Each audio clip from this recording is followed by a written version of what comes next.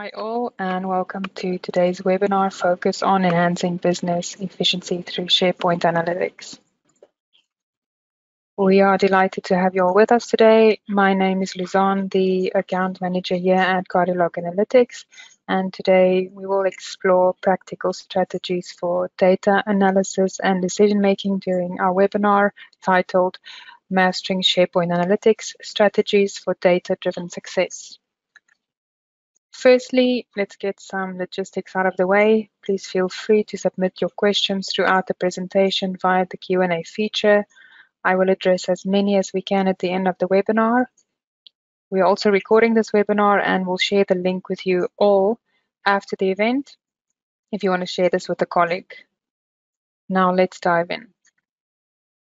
In regards to the agenda for today's webinar, we'll start out with a very short introduction I'll talk a bit about Cardiolog Analytics and who we are, and then I'll jump into a presentation of Cardiolog Analytics reports to show you how those reports should be leveraged for SharePoint in order to get the best insights and actionable data for improving user engagement, optimizing content, and enhancing overall SharePoint site management. And as I've mentioned, at the end we'll have time and I'll be taking some Q&A. So just a quick introduction. Cardiolog Analytics has been providing analytics for 365 for about 18 years now. We started back with SharePoint on-prem and we grew with Microsoft to the cloud. And today we track everything from SharePoint to Teams, OneDrive, Viva Engage, formerly known as Yammer, and so on. So also just a little bit about our vision as a company. This slide shows our evolution our goal is to help our customers constantly improve SharePoint based on how it's being used. The four main pillars that we talk to our customers about are monitoring activity, which is tracking the usage within SharePoint and Microsoft 365 platforms with in-depth internet analytics, insights, and usage reports. Our customers realize that understanding usage analytics often simply is not enough they wanted a way to take action based on the insights gained from monitoring their portal usage. And then enhance, we want to make sure that we are constantly improving SharePoint and Microsoft 365 based on these pillars. And the idea is to have actionable metrics which will allow us to constantly make SharePoint better for our users by increasing corporate productivity and improving portal ROI. And then the final pillar is incentivize. We can turn the data into a game as well. So instead of just the admins owning the data, we can make sure those end users have access to the data and can see how they compete with their colleagues and get points and coins. And we conclude by seeing how we can turn that raw data into exciting gamification and leverage that within our organization as well.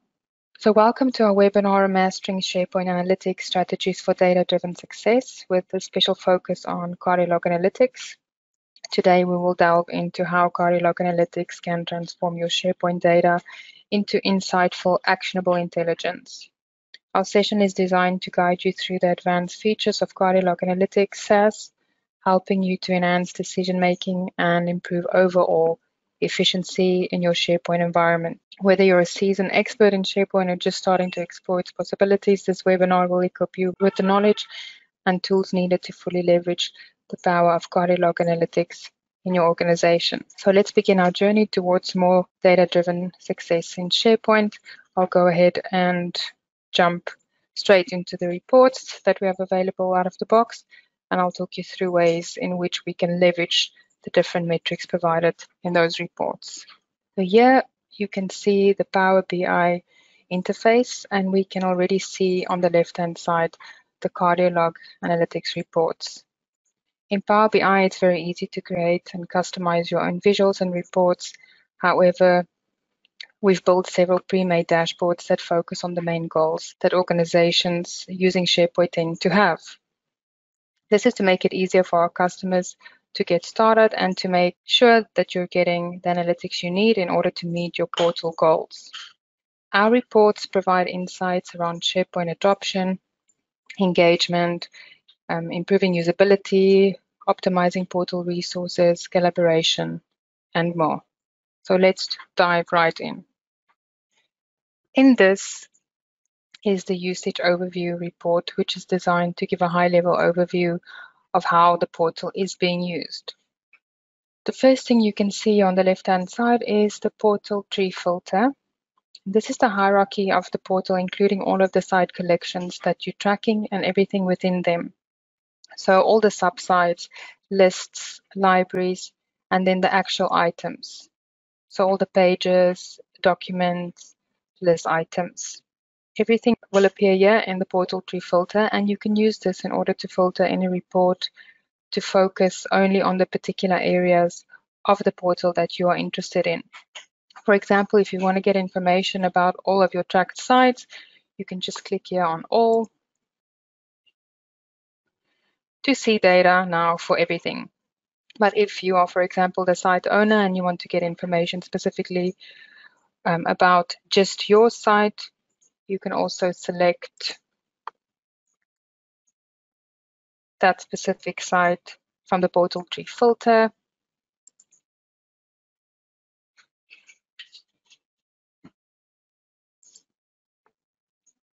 And just get the relevant information specifically for your site. You can see immediately the dashboard gets filtered. Or maybe you want to focus on specific lists or library. If, for example, you have a particular list that you use for news articles and you want to see how these news articles are performing, you'll just click on the relevant lists to see data only for the pages in this list. If we look at page type filter, you can also go a step further and filter by that page type. You can see here, for instance, by news page, unpublished news pages or a regular site page. The idea is that you can select any object you want to see information for, for a specific area within SharePoint using the different filters available. You can also have the option to utilize the hub site filter, where you'll have the ability to focus on a specific hub site.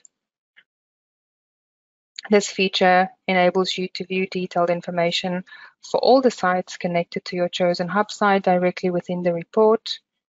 Once you select a hub site, let me select this one for example, the portal tree will automatically update, displaying only the sites that are associated with your selected hub. Please also keep in mind that your selections in the portal tree filter within this usage overview report will synchronize across other report pages as well. This means if you select the data for a specific hub site, you'll see the visuals filtered for just that selected site in all other reports as well. Another type of filter we have is based on the content type. So if you want to focus on documents or blog posts, for example, all you need to do is click on that relevant button And now you can see that this filtered your entire report to show only the relevant information. This also includes any custom content types that you've added to SharePoint. So let's dive into our first area of focus for today's session, content. So if we want to understand content trends over time, what's most popular in terms of content or that inactive content and so forth, we can see that right here within the content section. Focusing on the table, here I have a list of all the most popular content items in SharePoint, which helps us understand what we can really focus on and what actions we can take. So I've put this table into focus mode, and by default, we are seeing all of the most popular content based on these page view numbers. Also, you can see things such as when it was last viewed, how much time they spent viewing this content, how many unique users viewed the content, and even who created this content, as well as its size. This is really powerful information because once you know what's popular, you may want to link that to your SharePoint homepage. So this page, for example, is really popular. So instead of people wasting time searching for it on your site, you can now quickly make a link to it on the homepage because you now already know that this is the most popular among your users. Even going a step further, if you already have a design space for quick links or links you believe to be commonly used, this feature becomes even more valuable because you can verify and ensure that these links truly are the ones receiving the most engagement. I can also flip this around and now I'm showing all of the inactive content. So that's all the content not being used or that haven't been viewed at all, whether it's sites, whether it's documents, pages, wikis, and more. So what is really the real value in this analysis? It's all about streamlining our content to enhance user experience. First, we can identify and remove content that isn't being utilized. Then if we see that we have important but outdated content, let's go ahead and update that content. And lastly, if that content is already up to date and you know it's not being viewed by your users, let's increase its visibility if that content is something you want your users to be seeing. This could mean linking it to your homepage, like I mentioned before, or making it more accessible in other ways. By doing so, we can ensure that our users can easily find and access the content that matters most. So that's the action we can take based upon what's most popular and also the least popular content. Let's go back to the main report and look at some of the other ways to interact with the data that we've collected. First of all, we have our date filter. Our date slicer tool allows you to tailor to the date range for your analytics. We typically store a year's worth of data, but this can be extended beyond 12 months. You can access usage data from the time your site was first onboarded and tracked. Every data point in this dashboard is interactive. When you click on any element, it filters the entire dashboard based on your selection. For instance, clicking on a specific department will display usage data exclusively for that department, and that means for something like the most popular content, you can now drill down to see which items are most utilized by, say, the purchasing department.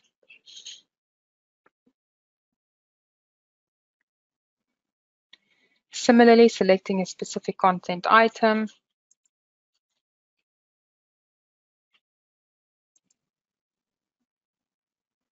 as you see, also filters the report to show its performance and the departments engaging with it the most. Cardiolog Analytics also provides versatile functionalities, including export, edit, and sharing options with capabilities to embed reports into SharePoint, export them to Excel, PowerPoint, or PDF, manage report permissions through the front desk team, subscribe for regular updates, and customize reports easily with a variety of data fields and visualizations. Let's now turn our attention to the Visitor Adoption Overview report. Understanding user adoption is a critical aspect for any organization utilizing SharePoint, and stakeholders often ask how they can better engage users to utilize the portal more efficiently. And to address this, we've developed a series of reports focusing on user adoption. This particular report provides a comprehensive overview of adoption metrics. Take the active user rate graph this particular report provides a comprehensive overview of adoption metrics. It contrasts the number of active SharePoint users, those who've logged in at least once during a selected date range, against those inactive users. Another key metric is the average depth of visit, which indicates the average number of pages visited per session. So if you would have seen a low number, for example, one or two, it would suggest limited engagement and would signal a potential area for improvement.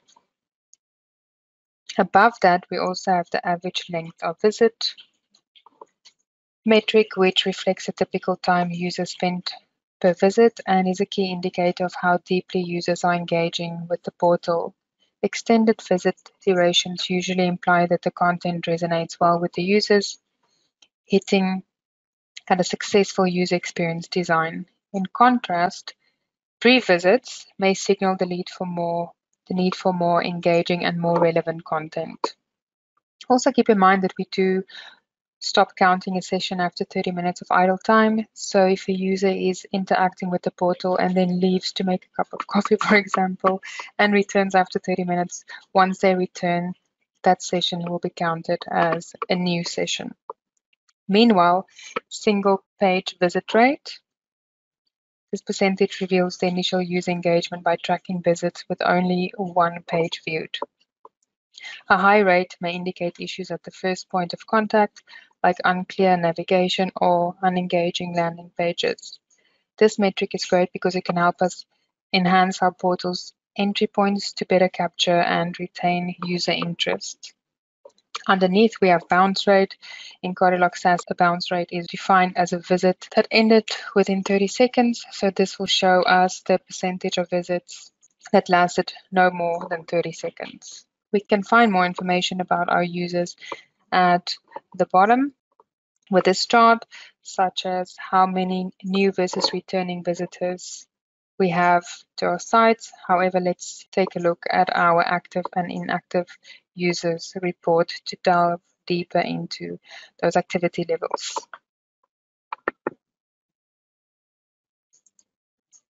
The active and inactive users chart breaks down user activity by department, helping identify departments with higher rates of inactivity. For instance, by selecting the sales department, we can now explore their specific engagement metrics, including the depth and duration of visits, and identify both highly engaged as well as less active users within the department.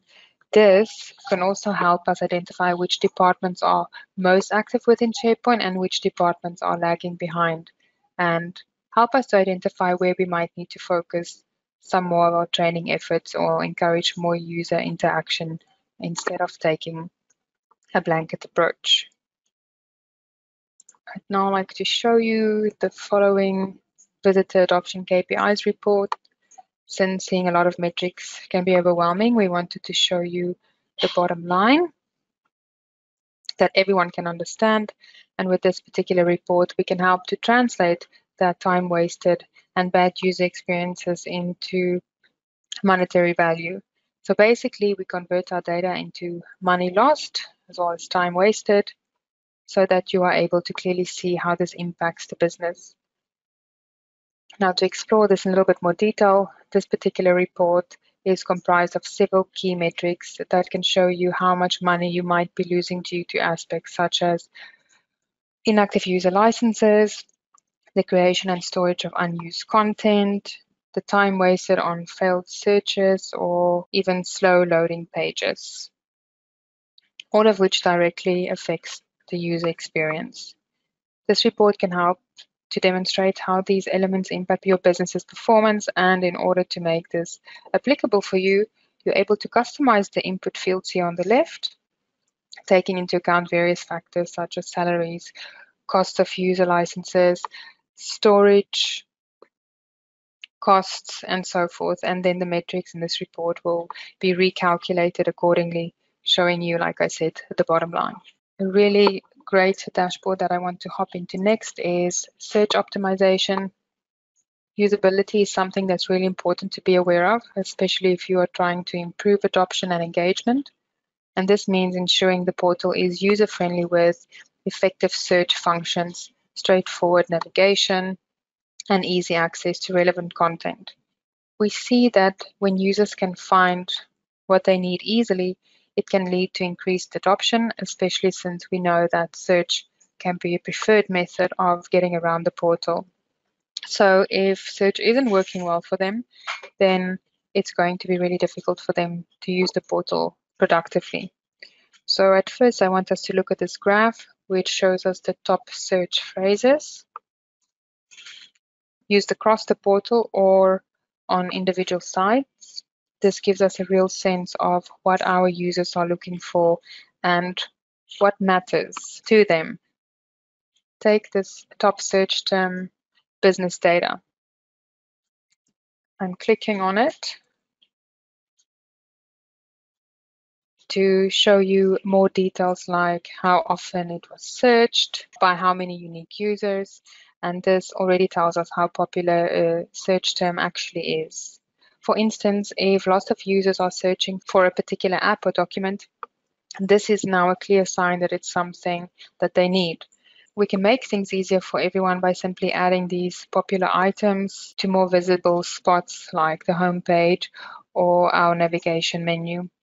We can also see the average number of results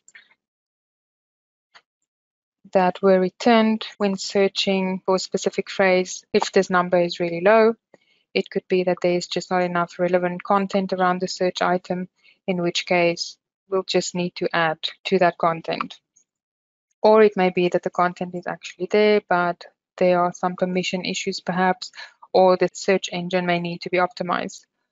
Alternatively, if too many results are returned, this may be overwhelming for a user to have to sift through so many results just to get to that relevant one.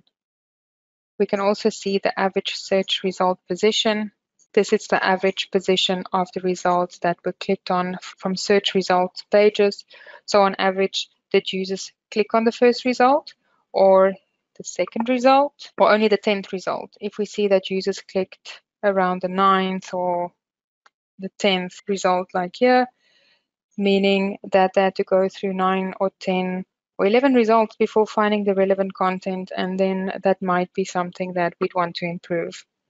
One way that we can improve that easily is by checking which search results users that actually click on in the search results clicked table and then promote or bookmark these search results. And finally, the percentage of searches that led to a click on a search result.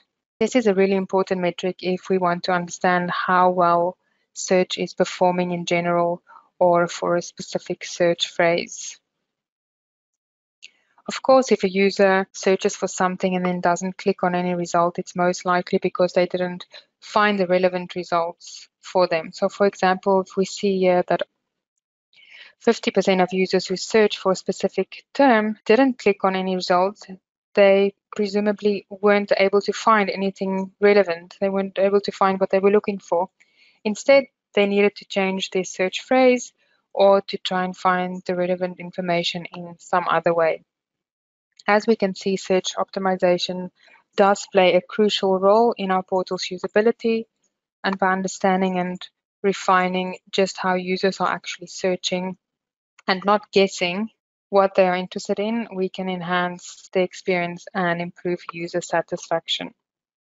As we've seen in the other reports, we can drill down to show popular search terms for specific departments, or you can even customize the report to show popular search terms by any other user profile attributes, such as country, job title, and so forth. Let's look at a couple more reports in the usability category. I quickly want to hop into slow pages. This report identifies the pages on your site that take the longest to be displayed to your user. So looking at the bar chart, we can see the top slow pages on your site ranked by these page load times. We know that page load time can be affected by various factors such as the size of the page, the complexity of the content and the design, the speed of the internet even, the internet connection and so forth. Therefore, it is important to regularly monitor your slowest pages and keep checking that the page load times remain within the acceptable range that the users are having a positive experience when accessing the portal. If we have a look at visitor technology, this report will help you to delve into how users access SharePoint, be it through desktop or mobile, or what browsers and operating systems they prefer. This data is really useful also for optimizing user experience. For example, if we see a few users on a certain mobile device, might mean that they need a bit more help and guidance on how to use it. Just by making access simpler, we encourage more people to use SharePoint on different devices and hopefully make it more easily accessible for them.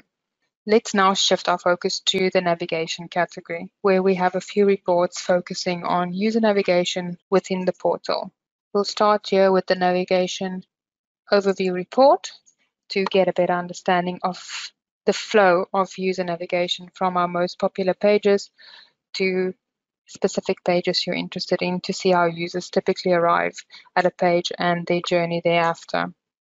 Here is how this will work. By selecting a page URL from the filter, the report will dynamically update to show the navigation paths associated with that page. This means we now get a clear picture of the user behavior and then understanding both how users land on this particular page and where they head to next. It's incredibly useful for making content placement decisions.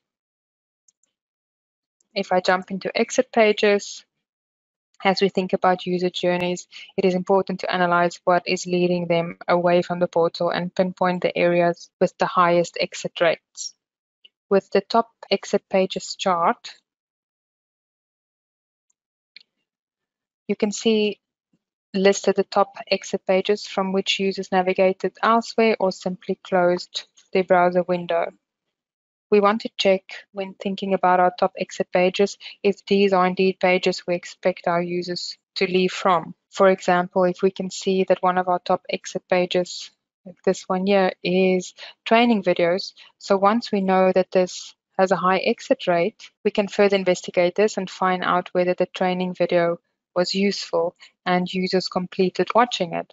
Or perhaps the content was not engaging enough and they simply closed out the browser and exited. Combining this information with other metrics such as the average duration, we can conclude which of the two assumptions may be true. As you can see here, engaging with a training video that might be 30 minutes long, but the user only engaged for one, or in this case, two minutes is concerning, and, this can help us take action on improving this training video in order to get users to engage with it for longer and not exit the page quite so quickly. If I hop into external links, still under the navigation category, here we can explore the exit points by looking at our external links report. This report provides data on outbound links. These are the links on our portal that led users to external applications and resources. Understanding these link clicks is crucial because it shows us which external resources are most valuable to our users. On the left-hand side, you have a list of pages that have external links. And once you select a specific page, you'll see the top external links on that page. And also how many times each link was clicked on, which is displayed next to it. Now let's take a look at the visitor journey. This report is also still in our navigation section and this report visually maps out the user navigation across our portal. Displaying a sequence of pages they visit from the moment they enter until they exit. When we select a particular node within this journey, it reveals the next pages that the users typically navigate to from that specific starting point. So what is the value in this? Well, by understanding users' navigation paths, we can optimize the user experience, making it smoother and more intuitive, meaning we can pinpoint popular routes and ensure that they are as user-friendly as possible, identify less traveled paths and look into how we can improve them also. Moving on to the portal resource category and going straight to the portal resources overview report. It allows you to understand trends in the size and volume of important content that you're continuously adding to your sites. With it, you can monitor and optimize your portal resources effectively. Now let's take a closer look at what this report offers. This content item metric allows you to monitor the total number of content items within your SharePoint portal. It is crucial for keeping an eye on how your content is expanding over time. You can also see the number of contributors that are creating content within your portal, which will allow you to assess user engagement and collaboration. You can also identify which content types contribute the most to the overall content size with the size by content type chart, and this information can help you prioritize content optimization efforts. Understanding these trends and metrics is vital for making informed decisions regarding content management, resource allocation, and user engagement strategies.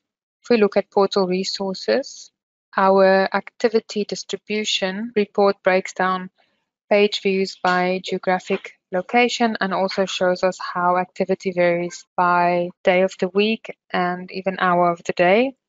It's really useful because it lets us see patterns in how different regions engage with our portal. Plus, we can drill down from country level to state and beyond, getting a detailed view of activity distribution. And this helps us tailor content and outreach strategies to specific audiences based on their active times and preferences. Lastly, let's conclude our demo today with our AI analytics reports. These can profoundly augment both the functionality and the overall user experience in SharePoint.